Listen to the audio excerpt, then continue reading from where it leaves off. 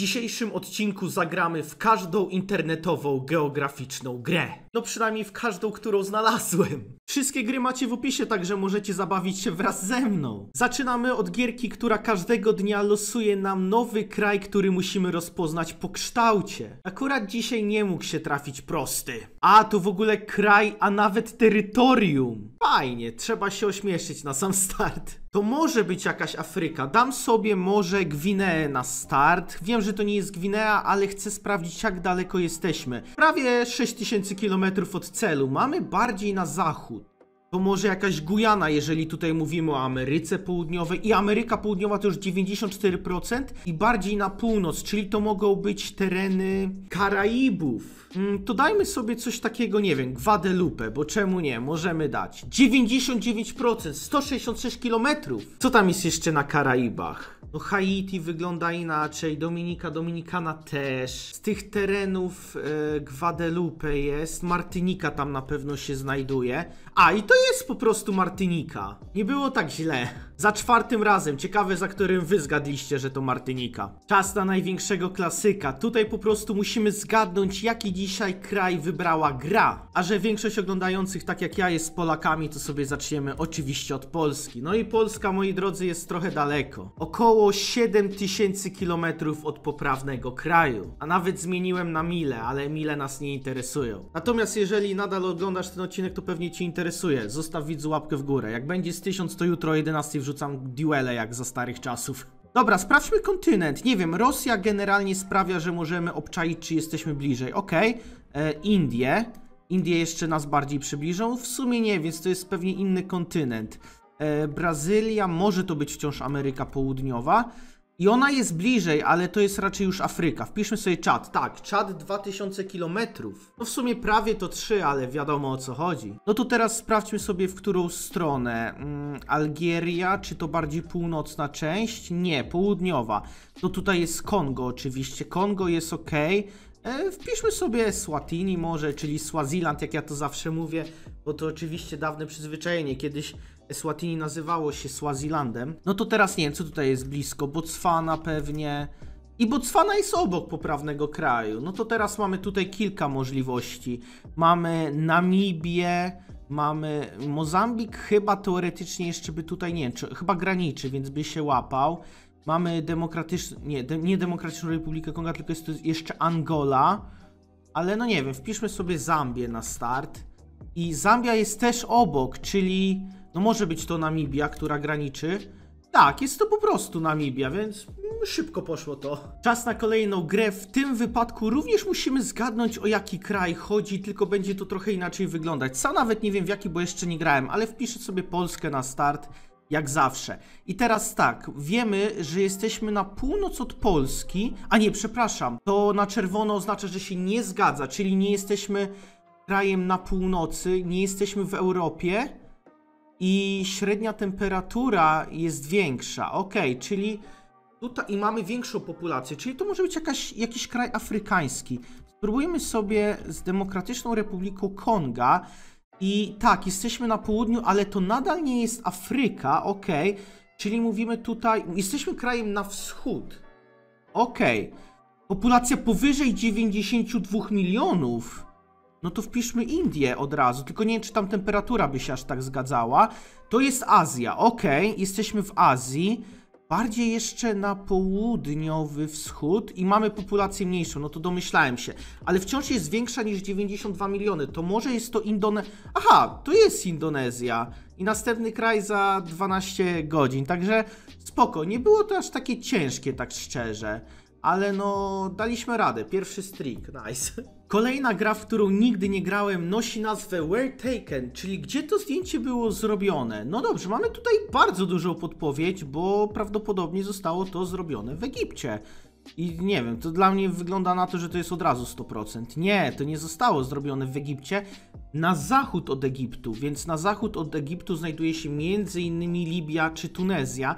I Tunezja wciąż mogłaby być, bo jest to pustynny kraj, nie, to jest na pół... Aha, to y, jest to terytorium sporne pewnie, czyli Sahara po prostu, Western Sahara, oficjalnie nieuznawana, ale tak, to jest po prostu dobry dobre zdjęcie, no moi drodzy, widzicie? Nie potrzebuję żadnych antenek, żeby wiedzieć, nie, a tak serio. Which landmark is in Western Sahara? Który z tych pasuje do Sahary? No pewnie ten. Dobrze. Eee, jaki jest ten nazywany? O kurde. Moroccan Sand Wall. Ojejciu, no to nie, no ale Temple to nie. Ale te, no to jest po niemiecku, więc też nie może być, bo Sahara nie ma nic wspólnego z Niemcami. Może, gdyby to była Namibia, to by było, bo to jest jedna z tych zapomnianych dawnych kolonii niemieckich. E, Moroccan Sandwall, dajmy to. O, udało się również trafić. Jeszcze mamy jedną. What is the capital city of Western Sahara? Nie wiem, nie mam pojęcia jaka jest stolica zachodniej Sahary. Nawet nie chcę strzelać, no. Mogę dać rabat, który, czyli terytorium sporne. To jest oczywiście stolica Maroko, która ma roszczenia do tego terytorium wraz z Hiszpanią. No ja wiem, że Rabat jest blisko tego, tak? W sensie, ale no. Jak się nazywa stolica z Sahary Zachodniej? Nie wiem, sprawdźmy. Wychodzi na to, że stolicą jest Al Uyun. Co lepsze, gdy wpisuję to po polsku, to nawet nie łapię. Jak to jest po innym języku? Dobra, udało mi się. W języku angielskim to tak się prawdopodobnie pisze, więc spoko, ale to bym nigdy w życiu nie wiedział, także o Jezu, gdzie w zachodniej Saharze to jest? Na południu wykluczę. Tu blisko może być Maroka. Tak, po prostu jest blisko Maroka. Which city in western... O Jezus Maria. Click you have two guess remaining, czyli mam dwa guessy, które pozostaną w razie czego. Nie wiem, Hausa.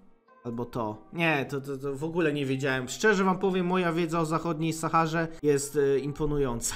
Moi drodzy, w tym wypadku musimy zgadnąć stolicę, co jest jeszcze cięższe, bo ja też nie wszystkie te stolice jeszcze znam, ale zacznę sobie od Warszawy. Dobra, jest to europejska stolica, mamy to moi drodzy, na pewno zgadnę, bęk. Jest to na, jak to południowy zachód, jest to kraj większy od Polski. No dobra, co nie wiem, wpiszmy sobie Paryż na razie i zobaczmy jak daleko to jest od Paryża. Okej, populacja jest większa. Kurde, i to jest jeszcze na południowy. No to Madryt? Po prostu byłby? Bo jak nie Madryt, to ja szczerze nawet nie wiem zbytnio, co by to mogło być. No, to musiał być Madryt, bo jeszcze się tak zastanawiałem. Ale dobra, to jednak było proste, tak szczerze. Moi drodzy, robimy wszystkie quizy geograficzne w internecie, więc to nie mogli nie zrobić jetpankowego jakiegoś losowego. No co to byłby za odcinek bez właśnie czegoś takiego? Kształty państw na mapie. Czy uda Ci się zgadnąć te, które są na kolor czarny? Dobra, tak się wylosowało, to lecimy. Na pewno są Stany. Wy to widzicie, widzicie wszystko. Ok, Peru, Gujana. E, nie, to jest Surinam. Prze... No, czekajcie, Gujana francuska? Ty, co to jest? Nie Surinam. O, ciekawe, dobra, wrócimy zaraz. Francja, Czechy, Ukraina, Serbia. To nie tracimy czasu. Maroko. E, Maroko z Saharą, ciekawe. Egipt, e, to jest Czad. Nie, nie Czad, tylko ta. E, granicące z Czadem. Dobra, lećmy na razie. Nami nie Namibia, tylko. E, Zimbabwe to było? Zimbabwe, okej. To jest Kenia na pewno. Gabon to był? Tak, Gabon. To jest teraz. O kurde, to nie jest żadna Gujana. E, Jezu, nie Gujana, tylko Gwinea. Gwinea jest, dobra. E, na Nig... A! Dobra. Prawie bym zapomniał o tak istotnym kraju w Afryce. Malezja, Filipiny. E, co tutaj mamy? Kore... Butan, Korea Południowa. Dobra, mamy mało czasu. Tu mamy...